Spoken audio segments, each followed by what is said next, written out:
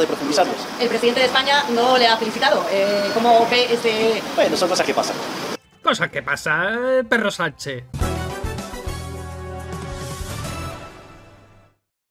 Bienvenidos a Libertad de lo que surja esto es el noticiero Giliprogre porque no te costará sin saber alguna cosa por demás y vamos a hablar sobre la investidura de Milei y qué primeras medidas va a tomar, pero antes vamos con las noticias de España y alrededores. En política y economía tenemos que Sánchez extiende su blindaje policial a todo el gobierno, casi 30 agentes por cada ministro. La formación del nuevo ejecutivo ha incrementado el número de viviendas oficiales a custodiar y el número de efectivos para proteger al presidente y sus ministros son necesarios cerca de 800 efectivos. Más protegido que el rey, Moncloa activa un cuarto anillo de seguridad para blindar a Sánchez. No tiene mucha confianza sobre su bueno, aceptación entre la población parece, pero sí que tiene mucha confianza con que es dueño del dinero de la gente, eso está clarísimo. Sánchez amenaza a las grandes empresas con los impuestos más altos del mundo, lo dicho. Las multinacionales españolas amenazan con irse del país o desviar inversiones debido al expolio fiscal que aplica el gobierno. Argentina por un lado bajando masivamente y aquí subiendo. Y es que al final la gente va a emigrar a Argentina, las multinacionales se van a ir a Argentina, la virgen. Cataluña es la comunidad más endeudada con el Estado, debe 10.000, bueno, 11.000 pavos por habitante. 11.000 pavos por... Es que me...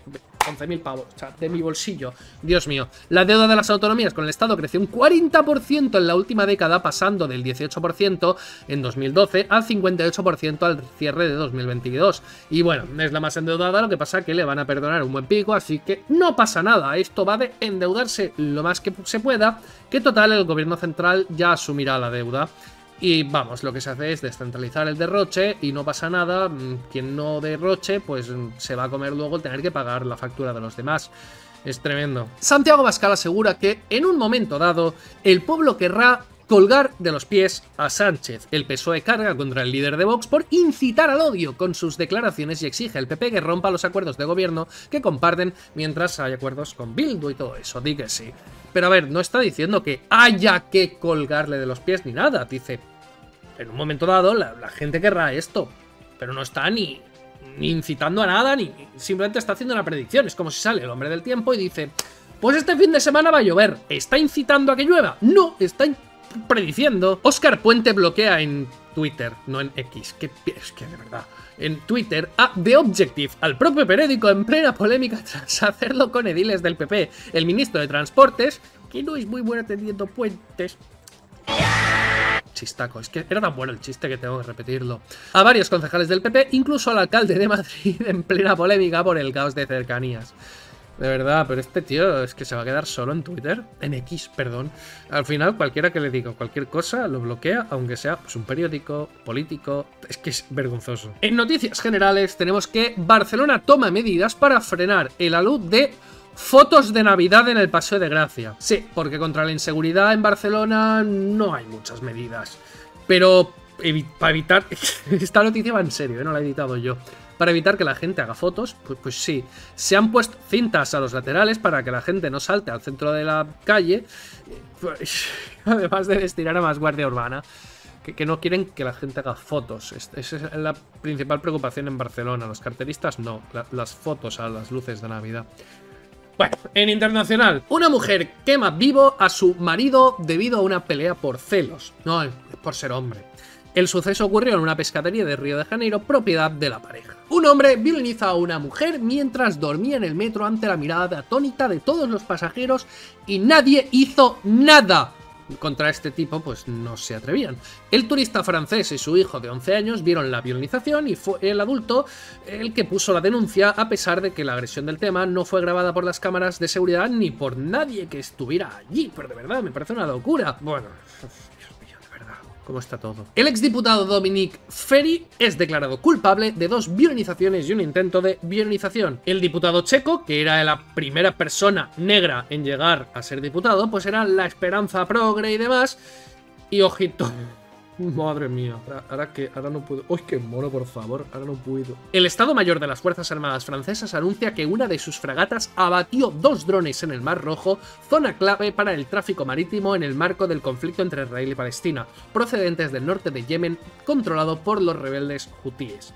Como se meta a Francia también de por medio junto con Estados Unidos, esto va a ser una locura, de verdad. Bueno, vayamos con la noticia del día, cosas sobre Javier Milei, que es que es la punta de lanza de la actualidad, evidentemente. Y tenemos una análisis totalmente objetivo por parte del No País. Los nuevos líderes ultras basan su sexapil electoral en la legitimación del odio y la violencia, por algún extraño motivo que desconozco. Y es que ahora puedes sacar a pasear a la bestia interior creyendo que eso te convierte en superhéroe.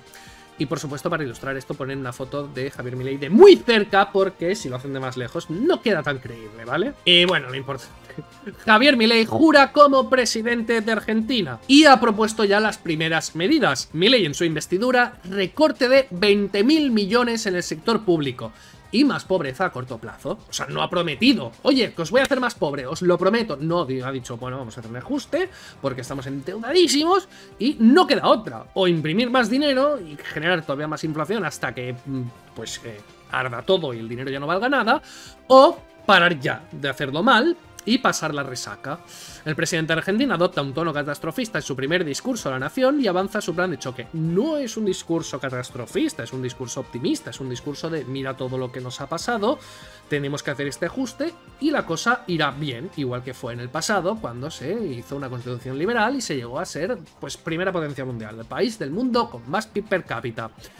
Yo no veo eso catastrofista. Por cierto, he subido mi análisis del discurso de investidura, lo tenéis en el canal, aquí Libertad y lo que surja, así que echadle un ojito. Y avanza su plan de choque. No hay alternativa posible al ajuste, es que no hay dinero. si no hay, pues no hay. Y además ha tomado otra medida. El primer decreto del presidente Javier Milei se confirma la reforma del Estado y la reducción a nueve ministerios. El DNU fue publicado en la madrugada de este lunes, serán Interior, Relaciones Exteriores y Culto, Defensa, Economía, infraestructura, justicia, seguridad, salud y capital humano. Además, tres secretarías que tendrán rango ministerial. Y al final estos van a ser los ministerios que ha dejado pero no es que haya quitado las funciones estatales de los demás ministerios, sino que los ha agrupado en estos... O sea, básicamente Superministerio de Infraestructura unificará transporte, obras públicas, minería, energía y comunicaciones, y luego el Superministerio de Capital Humano que unificará desarrollo social, trabajo y educación. Entonces, bueno, eh, al final prácticamente no despide a nadie, deja a todo el mundo haciendo las mismas cosas, solo que en menos edificios, son los mismos pero los llamará a todos de la misma manera. Bueno, tampoco es una gran medida, sinceramente. Además, he estado buscando, y ojito, que el Ministerio de Mujeres, Géneros y Diversidad, el Ministerio de Igualdad de allí, el Ministerio Feminista, de Discriminación al Hombre, Finalmente no fue disuelto, pero pasará a ser una secretaría dentro de la supercartera de Capital Humano. Es un claro mensaje político simbólico, el hasta hoy Ministerio de Justicia y Derechos Humanos pasará a llamarse únicamente Ministerio de Justicia. O sea que al final se seguirán haciendo todas esas cosas de momento, a saber lo que pasará a continuación, pero de momento, pues sí, la reducción de ministerios ha existido, pero no, no hay reducciones del Estado, simplemente hay agrupación del Estado. Entonces, ¿esto es bueno? Pues no, la verdad. Esto es dejar las cosas como estaban, solo que cambiarle el nombre. Entonces, no aplaudamos muy rápido. Eh, esperemos un poquito a ver si de verdad le echa huevos y recorta. Yo creo que sí. Pero a ver si recorta funciones. Lo que pasa que evidentemente no se puede recortar todas estas funciones que están asignadas al Estado.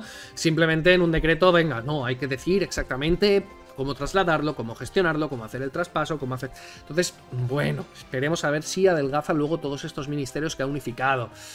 De momento, poca cosa. Pero es que lleva un día. Entonces, bueno. Pero bueno, que yo seguiré analizando todo lo que vaya pasando en Argentina y en el resto del mundo, porque no, y sobre todo en España, evidentemente. Pero es que lo de Argentina me parece un experimento interesante. Así que suscríbete que voy a seguir con todas estas cosas. Y además hay que hacer el cambio cultural que hubo en Argentina, pero aquí en España o en el país donde estés. Pero bueno, muchísimas gracias a todos, suscríbete, un saludo, un piquito y nos vemos.